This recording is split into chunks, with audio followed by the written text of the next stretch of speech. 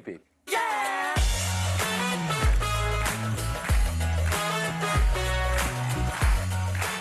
Philippe, vos origines brésiliennes vont encore faire voyager nos papilles aujourd'hui, puisque vous voulez faire fusionner des aliments de saison, mais qui, a priori, à première vue, si je puis dire, n'ont rien à faire ensemble. D'un côté, la nectarine et de l'autre, le chorizo.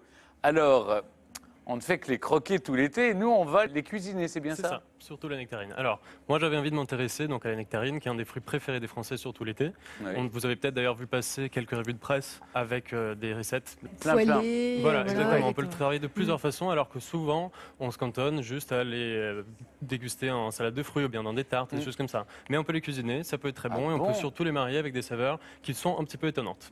Vous êtes prêts? On va l'essayer? Ah, il va falloir que je le fasse? Bon, je vous allez m'aider. ah, Très bien, c'est parti. Pitié Un Stéphane, non.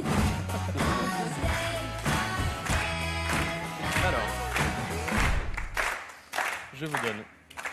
Merci. Un tablier. Oh, ça chauffe par là. Alors, voilà, donc on est équipé. Pour commencer, Stéphane, une petite colle. Est-ce que, euh, On a pour besoin de la vous, colle comment Ah, pardon, non. Non, non, c'est une petite question. Une question. Est-ce que pour vous, la nectarine, c'est une sorte de pêche ou bien un fruit à part entière? Je crois que c'est un fruit à part entière qui va avec le brugnon, non? Alors, c'est un petit peu plus compliqué que ça. Alors déjà, une idée reçue, c'est, euh, on me dit souvent que les nectarines sont le croisement entre des pêches, des pêchers Et et des pruniers. Alors ça, c'est faux. non, c'est faux. Ça, C'est c'est absolument une faux. légende urbaine. C'est ça. À la base, donc, ce qui s'est passé, c'est on avait un arbre du nord de la Chine il y a 3000 ans. On avait un pêcher qui donnait donc des pêches, mais il a eu une mutation. En fait, pendant euh, l'exportation de ce fruit-là via la route de la soie en Occident, on a vu naître des nouvelles sortes de fruits, donc des brouillons, des pêches et des nectarines. Incroyable. Voilà. Alors là, vous m'apprenez quelque chose. Voilà, mais c'est un peu compliqué de les différencier. Est-ce que vous savez le faire? Ça, c'est un brugnon. Ça, c'est une nectarine. Là, vous êtes très fort en fait. Vous savez tout à fait. Ah bah, je fais mon marché, euh, Philippe, quand même. Alors moi, je vais Euh, vous il apprendre. manque, la- ça c'est une pêche Ça, c'est une jaune, pêche simple. Il y a une pêche blanche, il manque une pêche des vignes, C'est pas mal, c'est très bon la pêche bon des aussi. vignes aussi. Mais Voilà. alors, j'ai un petit guide pratique pour vous aider à différencier donc les nectarines du reste. La première chose à voir, c'est ce qui saute aux yeux, donc c'est la peau. Ah, pour, oui. Eh oui. Là, vous le voyez. Là c'est brillant, là c'est mat. Là, Et c'est- surtout, en fait, elle est un comme petit du peu- duvet là. Elle est un petit peu duvetteuse, Oui, c'est ça. c'est ça. Donc ça, c'est facile, ça la différencie de la Mm. pêche et la nectarine. Mais alors, avec les brugnons, c'est un peu plus dur. Là, vous voyez, C'est la couleur, il y a des jaunes et des blancs. il y a des jaunes et des blancs, mais c'est quand même pas Bah, évident. ah hein. Quand vous bah, regardez même. la a raté couleur, sa coloration, la Oh bah quand même. euh, Alors, je vais vous montrer comment on le fait. Vous allez m'aider. Il faut les couper, ou alors les croquer, mais bon, on va les couper pour euh, voir avec le noyau. C'est ça qui va nous aider. D'ailleurs, en anglais, on a un seul mot, nectarine, pour les deux. D'accord. Stéphane, vous avez Alors une ça, c'est- dextérité Est-ce que pour vous avez couper trouvé que ça c'était plus facile de, de séparer le noyau Celui-là. Voilà, bah ça c'est une nectarine. En fait, c'est ça l'idée. Si vous arrivez à le séparer, même avec vos mains, voilà, ça sort assez facilement. Ça, c'est une nectarine. Ah, super. C'est Si vous génial. n'arriviez Et là, n'arriviez nous, pas, Et Alors. alors, du coup, nous, on, on- on cuisine la nectarine. c'est ça. Donc aujourd'hui, je vous propose un petit voyage pour utiliser des saveurs qui sont pas évidentes. En tout cas, bon, on n'aurait pas forcément l'idée de les cuisiner ensemble. Le chorizo et la nectarine.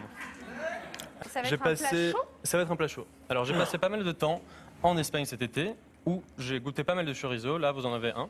Qu'est-ce que c'est le chorizo C'est du saucisson. C'est du saucisson. Un peu épicé. un peu épicé. C'est soit fait de chair de porc, soit fait de chair de porc euh, mélangé à du bœuf et pimenté au pimenton, qui est un paprika qui lui donne cette Ah, couleur c'est ça. un peu voilà Et, cette taille aussi, parce que c'est un gros C'est saucisson. pas évident. Parce qu'il y en a des- plus petits, il y en a des plus petits, mais fait. c'est pas la taille qui compte, C'est plus non, facile parce que Ouais, si on le coupe, on va le couper C'est le goût. et ça sera beaucoup plus simple une fois qu'on le cuit. Alors comment je prépare? Alors, on va relever un petit peu encore le niveau, on va rajouter des Saint-Jacques. Ah bon Et voilà. Ah, voilà, c'est- Terre-mer. Ah bah Saint-Jacques chori- Saint-Jacques chorizo, c'est délicieux.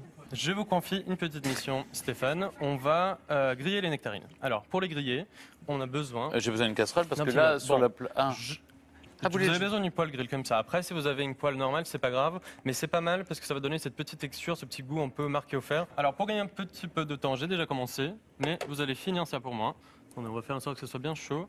Là, vous avez une petite pince. L'idée, c'est juste de les griller. Alors, ici, on a fait revenir des Saint-Jacques minutes, donc là, elles sont normalement un petit peu chaudes.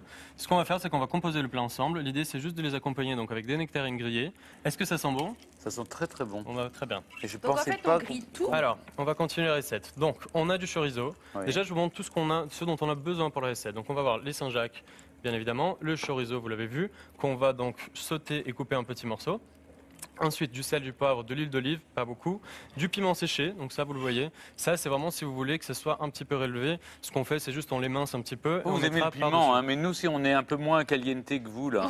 Alors, alors, vous le mettez un- pas beaucoup. Et finalement, on va finir avec quoi, le.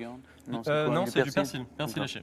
Je crois que c'est prêt, regardez. On va, on va les déposer. Ce qu'on va faire, les alors, je fais le premier, vous faites les autres. Ah, on va bon. juste les composer comme ça. Vous en mettez peut-être Ça sent bon, hein. 5-6. Ça sent super bon. Vous voulez qu'on voit les marques Un peu vous plus délicatement.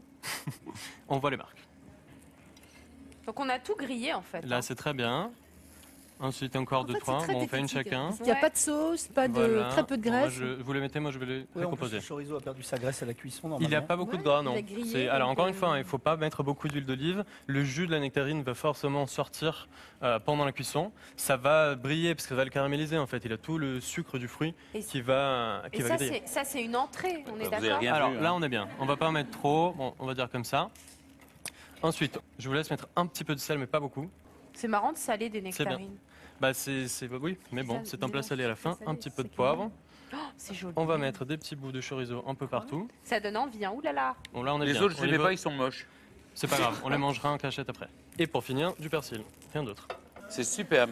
Ouais, Voilà. Bravo. hein. Mais, mais amenez-le je vous l'apporte. Euh, Eh, ils veulent goûter les autres. hein. Alors, mûr, et là, jeune on ami. décide de le donner au- à Attends, Mathias, il a pardon. C'est bien, franchement. Il y a un truc qui va très bien aussi avec les nectarines et pêches, c'est le canard. C'est vrai. Non, mais quand on voit ton assiette, on se dit que c'est un plat euh, qu'on trouve dans les restaurants étoilés. En fait, on a ça dans notre frigo, les nectarines simple, hein. un peu mûres, du chorizo, pas, c'est rapide des à faire. Saint-Jacques, on en trouve On n'a pas partout. beaucoup de besoin d'ingrédients. Et puis ça, ça, ça le fait, quoi. Quand on a des amis à la maison, ça le fait. Isabelle, très. Mathias, qui finalement est un ventre. Alors, du coup, un ventre, Stéphane. Merci beaucoup, Philippe. On trouvera votre recette sur France2.fr.